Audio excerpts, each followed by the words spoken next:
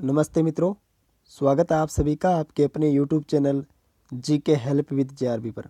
दोस्तों, आज के इस वीडियो में हम बात करेंगे प्री बी सी एग्ज़ाम 2019 के लिए इम्पोर्टेड राजस्थान सामान्य ज्ञान के 50 क्वेश्चनों के बारे में।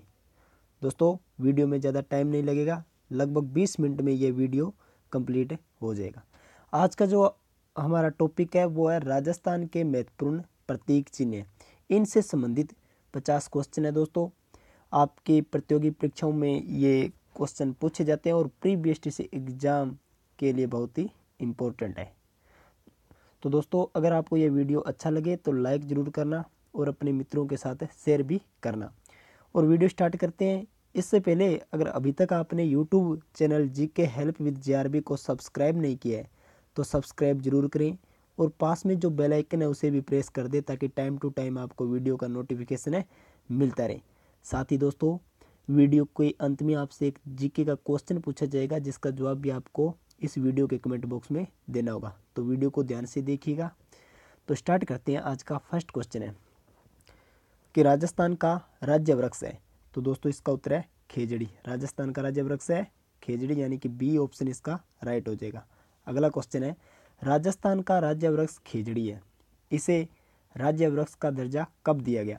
तो दोस्तों, राजस्थान का राज्य वृक्ष खेजड़ी और इसे राज्य वृक्ष का दर्जा दिया गया था 31 अक्टूबर उन्नीस सौ तिरासी को। यानी कि ए ऑप्शन इसका राइट हो जाएगा 31 अक्टूबर उन्नीस सौ तिरासी को। यह भी क्वेश्चन दोस्तों बहुत बार एग्ज़ाम में पूछा गया है। चलते हैं नेक्स्ट क्वेश्चन पर। अगला क्वेश्चन है खेजड़ी वृक्ष राजस्थान के किस भाग में सर्वाधिक पाया जाता है। यानी कि राजस्थान में खेजड़ी वृक्ष है, वो किस भाग में सर्वाधिक है? पाया जाता है। तो दोस्तों, खेजड़ी वृक्ष है, वो राजस्थान के पश्चिमी भाग में सर्वाधिक है, पाया जाता है। ये जो पश्चिमी क्षेत्र है दोस्तों, जैसे जैसलमेर, बाड़मेर, बीकानेर, इधर का जो भाग है, यहाँ पर खेजड़ी वृक्ष है, वो बहुतायत में मिलता है। तो इसका जो सी ऑप्शन है, वो राइट हो जाएगा। अगला क्वेश्चन है, खेजड़ी के उपनाम है। तो दोस्तों खेजड़ी के उपनाम है राजस्थान का कल्प वृक्ष भी से कहते हैं राजस्थान का गौरव भी कहते हैं। दोस्तों, राजस्थान का गौरव चित्तौड़गढ़ किले को भी कहते हैं, लेकिन आपको ध्यान रखना है कि वृक्षों में, खेजड़ी के वृक्ष को भी राजस्थान का गौरव कहते हैं और इसे थार का कल्प वृक्ष भी कहते हैं। यानी कि इसका जो डी ऑप्शन है, वो राइट हो जाएगा उक्त सभी। नेक्स्ट क्वेश्चन है, राजस्थान का राज्य वृक्ष खेजड़ी का वनस्पतिक नाम क्या है? ये भी क्वेश्चन दोस्तों बहुत बार एग्ज़ाम में पूछा गया तो दोस्तों, खेजड़ी का जो बोटेनिकल नेम है, वो है प्रोसोपिस सिनेरेरिया क्या नाम है? प्रोसोपिस सिनेरेरिया दोस्तों, ये वैज्ञानिक नाम थोड़े कठिन होते हैं, फिर भी आपको याद करने होंगे क्योंकि यहाँ से क्वेश्चन पूछा जाता है। चलते हैं नेक्स्ट क्वेश्चन पर। अगला क्वेश्चन आपके सामने है। निम्न में से सुमेलित नहीं है। तो दोस्तों, ये कि राजस्थानी भाषा में खेजड़ी को क्या कहते हैं? सीमलो ये राइट है। और सिंधी भाषा में खेजड़ी को छोकड़ो कहते हैं। और कन्नड़ भाषा में जंटी। ये गलत है दोस्तों, कन्नड़ भाषा में खेजड़ी को कहते हैं बन्नी। ध्यान रखना दोस्तों, कन्नड़ भाषा में खेजड़ी को क्या कहते हैं? बन्नी। और तमिल भाषा में पे में। तो इसका जो सी ऑप्शन है वो राइट हो जाएगा। अगला क्वेश्चन है, खेजड़ी वृक्ष से प्राप्त हरी पत्तियों को क्या कहते हैं? यानी खेजड़ी का जो वृक्ष है, इससे जो हरी पत्तियाँ प्राप्त होती है, उसे कहते हैं लूम। क्या कहते हैं? लूम। यानी कि ए ऑप्शन इसका राइट हो जाएगा। दोस्तों, इसकी जो फली लगती है, उन्हें कहते हैं सांगरी। इस सांगरी की दोस्तों, सुखाकर सब्ज़ी बनाई जाती है। ये सांगरी अगर पक जाए तो इसे कहते हैं खोखा। ये भी आपको ध्यान रखना है। अगला क्वेश्चन है खेजड़ी वृक्ष की किस त्यौहार पर पूजा की जाती है? यानी कि कौन से त्यौहार पर खेजड़ी वृक्ष की पूजा की जाती है? यह भी क्वेश्चन दोस्तों एग्ज़ाम में पूछा गया तो आपको याद रखना है, दशहरा। यानी कि विजयदशमी पर खेजड़ी वृक्ष की पूजा की जाती है। दोस्तों, वीडियो को लाइक ज़रूर कीजिएगा और अपने मित्रों के साथ ज़्यादा से ज़्यादा शेयर करना। नौवा क्वेश्चन है, लोक देवता गोगा जी के थान किस वृक्ष के नीचे बने होते हैं? तो दोस्तों, इसका ए ऑप्शन राइट हो जाएगा, खेजड़ी वृक्ष। ये भी क्वेश्चन एग्ज़ाम में पूछा गया। खेजड़ी वृक्ष के नीचे लोक देवता गोगा जी के थान बने होते हैं। दसवां क्वेश्चन है, खिजड़ी दिवस बारह सितंबर को कब से मनाया जाता है? सबसे पहले तो आपको ध्यान रखना है कि खेजड़ी दिवस कब मनाया जाता है? बारह सितंबर को। और कब से स्टार्ट किया गया? तो दोस्तों, खेजड़ी दिवस बारह सितंबर उन्नीस सौ अठहत्तर में प्रतिवर्ष मनाया जाता है। यानी कि उन्नीस सौ अठहत्तर से प्रतिवर्ष खेजड़ी दिवस है वो, बारह सितंबर को मनाया जाता है। अगला क्वेश्चन है दोस्तों, ग्यारहवा खेजड़ी वृक्ष पर साठ पैसे का डाक टिकट कब जारी किया गया था? तो दोस्तों, खेजड़ी वृक्ष पर साठ पैसे का डाक टिकट उन्नीस सौ अट्ठासी ईस्वी में जारी किया गया था। यानी कि ए ऑप्शन इसका राइट हो जाएगा। उन्नीस सौ अठासी में खेजड़ी वृक्ष पर साठ पैसे का डाक टिकट जारी किया गया था। बारहवा क्वेश्चन है, खेजड़ी वृक्ष को बचाने के लिए ऑपरेशन खेजड़ा कार्यक्रम। ऑपरेशन खेजड़ा कार्यक्रम कब शुरू किया गया?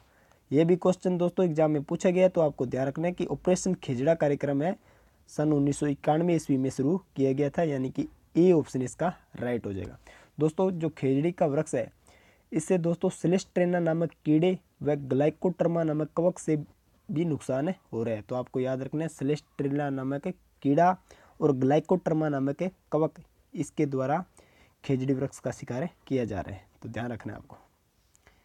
अगला क्वेश्चन है, तेरवा, खेजड़ी वृक्ष को बचाने के लिए मारवाड़ के शासक अभय सिंह के काल में 1730 ईस्वी में, ये डेट ध्यान रखना दोस्तों, कब? 1730 ईस्वी में अमृता देवी बिश्नोई के नेतृत्व में कितने लोगों ने बलिदान दिया था? तो दोस्तों, तीन सौ तिरसठ लोगों ने बलिदान बलिदान दिया था, यानी कि इसका ए ऑप्शन राइट हो जाएगा तीन सौ तिरसठ लोगों ने। दोस्तों, इसी घटना को राजस्थान का चिपको आंदोलन कहते हैं। तो आपको याद रखना, राजस्थान का चिपको आंदोलन तो इस खजड़ली की घटना को ही कहा जाता है। अगला क्वेश्चन है, राजस्थान का राज्य पुष्प है। तो दोस्तों, राजस्थान का राज्य पुष्प है रोयडा। यानी कि इसका बी ऑप्शन राइट हो जाएगा, राजस्थान का राज्य पुष्प रोयडा पंद्रवा क्वेश्चन है, राजस्थान का राज्य पुष्प रोयडा कब घोषित किया गया? यानी कि राज्य पुष्प का दर्जा कब दिया गया? तो आपको याद रखना है, इकतीस अक्टूबर उन्नीस सौ तिरासी को। यानी कि इसका ए ऑप्शन राइट हो जाएगा। दोस्तों राज्य वृक्ष खेजड़ी और राज्य पुष्प रोयडा इनको जो राज्य वृक्ष और राज्य पुष्प का दर्जा एक ही दिन दिया गया था, यानी कि 31 अक्टूबर उन्नीस सौ तिरासी को। नेक्स्ट क्वेश्चन है रोयडा के अन्य नाम है। तो दोस्तों, रोयडा को राजस्थान का सागवान भी कहते हैं, मारवाड़ का टिक भी कहते हैं और राजस्थान की मरुसोबा भी कहते हैं। कई बार क्वेश्चन पूछ लिया जाता है कि मारवाड़ टिक के नाम से कौन सा वृक्ष फ़ेमस है तो आपको याद रखना है रोयडा और इसे राजस्थान का सागवान भी कहते हैं, राजस्थान की मरुशोभा भी कहते हैं, यानी कि इसका डी ऑप्शन राइट हो जाएगा उक्त सभी। अगला क्वेश्चन है, राजस्थान का राज्य पुष्प रोयडा का वैज्ञानिक नाम क्या है? यानी कि बोटेनिकल नेम बताना है दोस्तों। तो रोयडा है, इसका वैज्ञानिक नाम होता है टिकोमेला अंडुलेटा। क्या नाम होता है? टिकोमेला अंडुलेटा, यानी कि इसका बी ऑप्शन राइट हो जाएगा। हमने दोस्तों खेजड़ी का जो खेजड़ी है, इसका वैज्ञानिक नाम देखा था, वो था प्रोसोपिस सिनेरेरिया ये भी ध्यान रखना है। थोड़े कठिन होते हैं नाम, लेकिन फिर भी आपको याद रखने क्योंकि यहाँ से क्वेश्चन पूछा जाता है। अठारहवा क्वेश्चन है, राजस्थान का राज्य पुष्प रोयडा किस भाग में सर्वाधिक पाया जाता है? तो दोस्तों रोयडा है वो पश्चिमी राजस्थान में सर्वाधिक पाया जाता है, यानी कि इसका सी ऑप्शन राइट हो जाएगा पश्चिमी राजस्थान में। उन्नीसवा क्वेश्चन है रोयडा के फूल कब खिलते हैं? तो दोस्तों रोयडा के फूल है, ये मार्च, अप्रैल में खिलते हैं, यानी कि इसका ए ऑप्शन राइट हो जाएगा। अगर दोस्तों ये पूछ ले कि हिंदू माह में रोयडा के फूल कब खिलते हैं तो आपको याद रखना है चैत्र माह में। तो ये दोनों क्वेश्चन दोस्तों एग्ज़ाम्स में पूछे गए हैं। तो आपको याद रखना है कि रोयडा के फूल मार्च, अप्रैल में खिलते हैं। दोस्तों, ये इसका रंग होता है हिरमिच रंग हिरमिच रंग। रोयडा का जो फूल होता है, इसका रंग हिरमिच होता है। यानी कि हिरमिच रंग के अंतर्गत चार प्रकार के रंग आते हैं, पीला, केसरिया, लाल और नारंगी। अगला क्वेश्चन है, राज्य पशु वन्य जीव श्रेणी के अंतर्गत है। मतलब राज्य पशु बताना है जो कि वन्य जीव श्रेणी के अंतर्गत। तो दोस्तों, इसका उत्तर हो जाएगा चिंकारा। वन्य जीव श्रेणी के अंतर्गत राजस्थान का राज्य पशु है चिंकारा, यानी कि ए ऑप्शन इसका राइट हो जाएगा। अगला क्वेश्चन है वन्य जीव श्रेणी के अंतर्गत चिंकारा को राज्य पशु का दर्जा कब दिया गया? तो दोस्तों वन्य जीव श्रेणी के अंतर्गत चिंकारा को राज्य पशु का दर्जा दिया गया था 12 दिसंबर उन्नीस सौ तिरासी को। कब दिया गया? 12 दिसंबर उन्नीस सौ तिरासी को, यानी कि इसका ए ऑप्शन राइट हो जाएगा। ये भी क्वेश्चन दोस्तों, प्रतियोगी परीक्षाओं में पूछा गया है चिंकारा को दोस्तों छोटा हिरन कहा जाता है। एंटीलोप प्रजाति का ये छोटा हिरन होता है। अगला क्वेश्चन है, चिंकारा का वैज्ञानिक नाम क्या है? तो दोस्तों, चिंकारा का वैज्ञानिक नाम है गजेला गजेला, यानी कि इसका ए ऑप्शन राइट हो जाएगा, गजेला गजेला। दोस्तों, चिंकारा सामान्यतः जोधपुर में अधिकता से देखने को मिलता है। किस ज़िले में? जोधपुर में। अगला क्वेश्चन है, चिंकारा किस ज़िले का शुभंकर है? दोस्तों वन्य जीव श्रेणी के अंतर्गत जो राजस्थान का राज्य पशु है, चिंकारा, यह श्री गंगानगर ज़िले का शुभंकर है। यानी कि इसका ए ऑप्शन राइट हो जाएगा, श्री गंगानगर जिला। चौबीसवा क्वेश्चन है, पशुधन श्रेणी के अंतर्गत राजस्थान का राज्य पशु है। तो दोस्तों, इसका ए ऑप्शन राइट हो जाएगा, ऊँट। यानी कि पशुधन श्रेणी के अंतर्गत तो राजस्थान का राज्य पशु ऊँट है। और वन्य जीव श्रेणी के अंतर्गत राजस्थान का राज्य पशु है चिंकारा। दोस्तों, चिंकारा और ऊँट से संबंधित मैंने पहले भी एक वीडियो अपलोड किया था। अगर आपने वो वाला वीडियो नहीं देखा है तो उसका लिंक आपको डिस्क्रिप्शन में मिल जाएगा, वहाँ पर जाकर उसे ज़रूर देखना दोस्तों, क्योंकि जो राजस्थान का राज्य पशु ऊँट है, इनसे रिलेटिव प्रतियोगी परीक्षाओं में क्वेश्चन बहुत पूछे जाते हैं। अगला क्वेश्चन है पच्चीसवा। पशुधन श्रेणी के अंतर्गत ऊँट को राज्य पशु का दर्जा कब दिया गया? तो दोस्तों, ऊँट को राज्य पशु का दर्जा दिया गया था 30 जून 2014 को। यानी कि इसका ए ऑप्शन राइट हो जाएगा। यानी कि राज्य पशु का दर्जा देने की घोषणा हुई थी 30 जून 2014 को। लेकिन इसकी जो अधिसूचना, वो 19 सितंबर 2014 को जारी की गई थी। यानी कि 19 सितंबर 2014 को इसकी अधिसूचना जारी हुई थी। ये भी ध्यान रखना है। अगला क्वेश्चन है, भारत में सर्वाधिक ऊँट किस राज्य में पाए जाते हैं? तो राजस्थान राज्य में भारत में सर्वाधिक ऊँट पाए जाते हैं। और दोस्तों, अगर बात करें विश्व में सर्वाधिक ऊँट कहाँ पर पाए जाते हैं तो आपको याद रखना है ऑस्ट्रेलिया में। कहाँ पर पाए जाते हैं? ऑस्ट्रेलिया में। छब्बीसवा क्वेश्चन है, ऊँट के कुबड़ में क्या पाई जाती है? दोस्तों, ऊँट के कुबड़ में पाई जाती है वसा। यानी कि इसका ए ऑप्शन राइट हो जाएगा कि ऊँट की कुबड़ में वसा पाई जाती है, जिसके कारण यह लंबे समय तक बिना पानी के रह सकते हैं।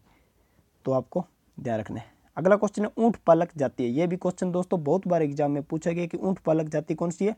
रेबारी। रेबारी या रायका ऊँट पालिक जाति है, इसका ए ऑप्शन राइट हो जाएगा। अट्ठाईसवा क्वेश्चन है, ऊंटों का देवता है। तो दोस्तों, ऊंटों का देवता है जी यानी कि इसका ए ऑप्शन राइट हो जाएगा। जी को मारवाड़ में ऊँट लाने का श्रेय जाता है तो इसका ए ऑप्शन राइट हो जाएगा, ऊंटों का देवता जी है। अट्ठाईसवा क्वेश्चन है, गोरबंद क्या है? यह भी क्वेश्चन दोस्तों, प्रतियोगी परीक्षाओं में पूछा गया है। तो गोरबंद दोस्तों, ऊँट के गले का आभूषण है, यानी कि इसका ए ऑप्शन राइट हो जाएगा।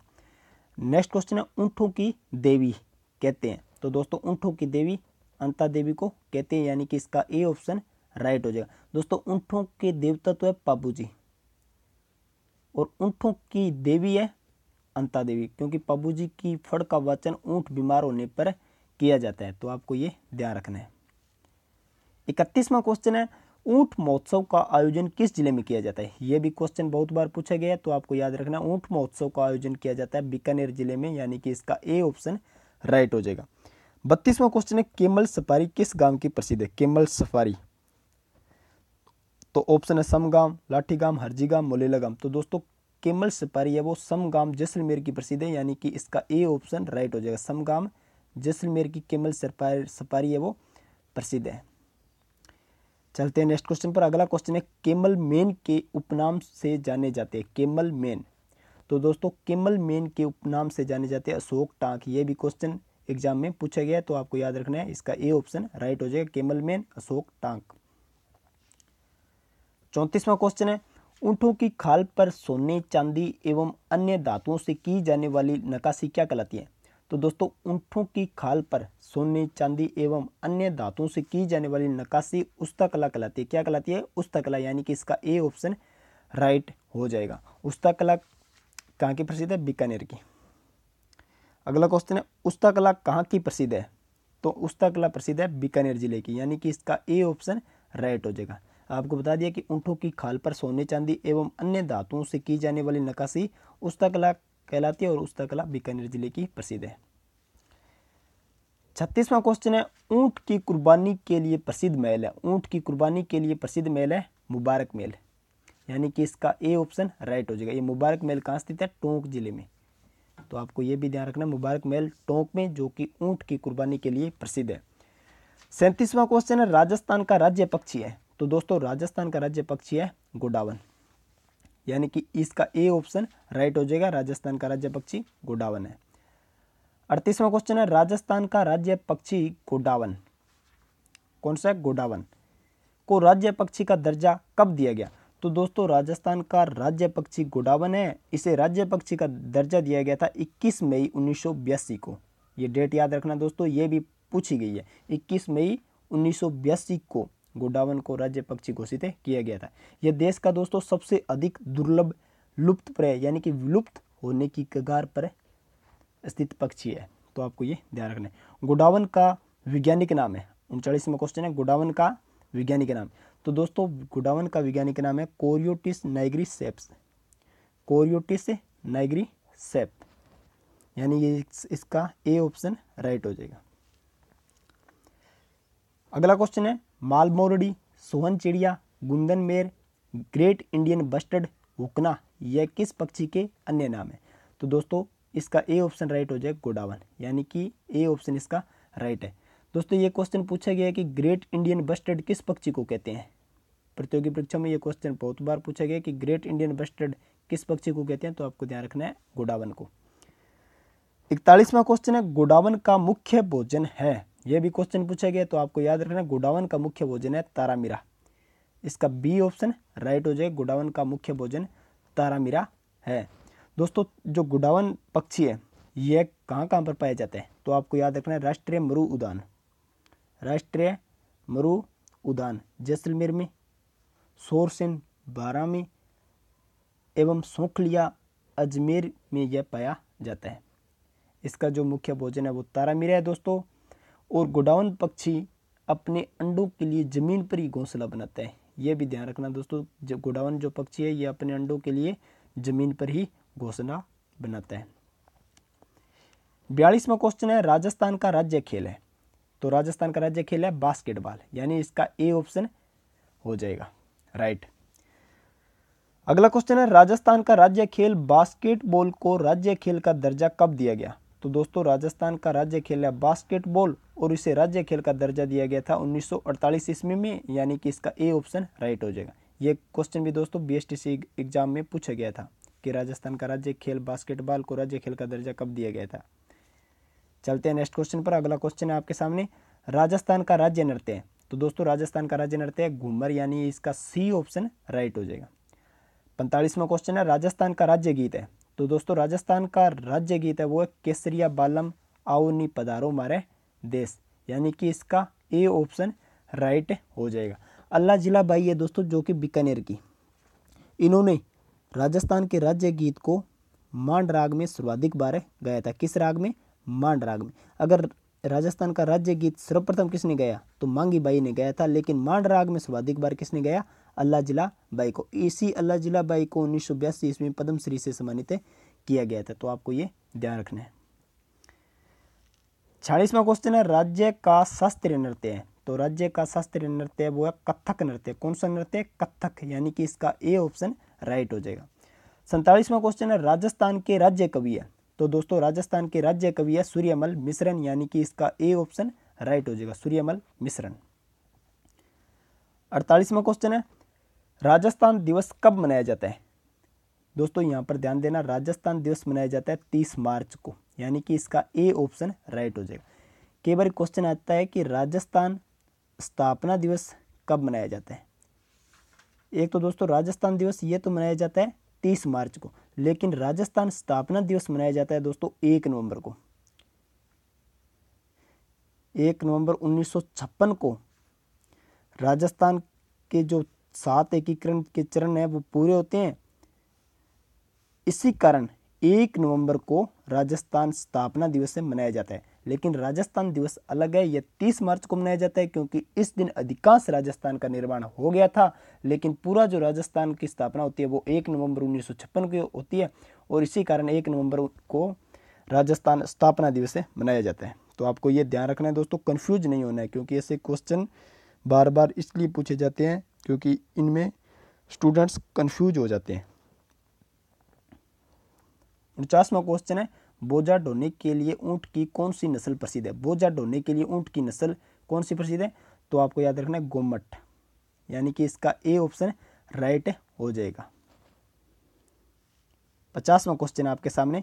राजस्थान के कौन से ज़िले में सर्वाधिक ऊँट पाए जाते हैं? तो दोस्तों, राजस्थान के बीकानेर ज़िले में सर्वाधिक ऊँट पाए जाते हैं। यानी कि इसका बी ऑप्शन राइट हो जाएगा। दोस्तों, भारत के सत्तर परसेंट ऊँट भारत के सत्तर परसेंट ऊँट राजस्थान राज्य में पाए जाते हैं।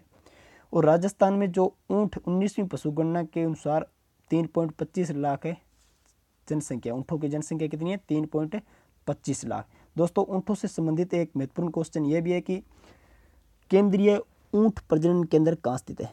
ध्यान देना दोस्तों, केंद्रीय ऊँट प्रजनन केंद्र। तो दोस्तों, आपको याद रखना केंद्रीय ऊँट प्रजनन केंद्र स्थित है जोड़बीड़ में जोड़बीड़ में जोड़बीड़ बीकानेर में केंद्रीय ऊँट प्रजनन केंद्र स्थित है। दोस्तों जोड़बीड़ बीकानेर में जो ऊँट प्रजनन केंद्र की स्थापना कब की गई थी ये भी क्वेश्चन पूछा जाता है तो आपको ध्यान रखना है, पाँच जुलाई उन्नीस सौ चौरासी को, पाँच जुलाई उन्नीस सौ चौरासी को केंद्रीय ऊँट प्रजनन केंद्र जोड़बीड़ की स्थापना की गई थी तो आपको ये ध्यान रखना है। और दोस्तों, ऊँटों में एक रोग पाया जाता है, जिसका नाम है सर्रा रोग, जिसके कारण ऊँटों की मृत्यु भी बहुत हुई थी। तो सर्रा रोग किससे संबंधित है? तो ऊँटों से संबंधित है, ये भी आपको ध्यान रखना है। तो दोस्तों, अब बात करते हैं जो क्वेश्चन आपसे पूछा गया था, प्रैक्टिस क्वेश्चन। मॉडल पेपर के अंतर्गत आपसे पूछा गया था, वो क्वेश्चन था कि जनसंख्या की दृष्टि से राजस्थान का देश में स्थान है। तो दोस्तों, राजस्थान का देश में स्थान है सातवां, यानी कि इसका ए ऑप्शन राइट था। आज का क्वेश्चन दोस्तों, जिसका जवाब आपको इस वीडियो के कमेंट बॉक्स में देना है। क्वेश्चन आपके सामने दोस्तों। राजस्थान के कौन से ज़िले में न्यूनतम ऊँट पाए जाते हैं? न्यूनतम मतलब सबसे कम ऊँट राजस्थान के कौन से ज़िले में पाए जाते हैं? ऑप्शन है प्रतापगढ़, धौलपुर, करौली, दौसा।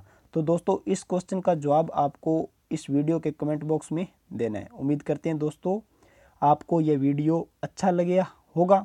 अगर अच्छा लगे तो प्लीज़ इस वीडियो को कीजिए लाइक और अपने मित्रों के साथ ज़्यादा से ज़्यादा कीजिए शेयर। धन्यवाद दोस्तों, मिलती है नेक्स्ट वीडियो में, तब तक के लिए जय हिंद, वंदे मातरम।